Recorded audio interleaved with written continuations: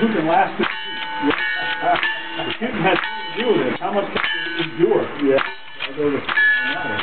But I didn't get out of sequence and get a peek. Two years ago down at Oregon, 105 degrees. I don't- Just that one. Mine was Oh, on the yeah. left. All of them went off. Well, mine Yeah, they did. They sound good too.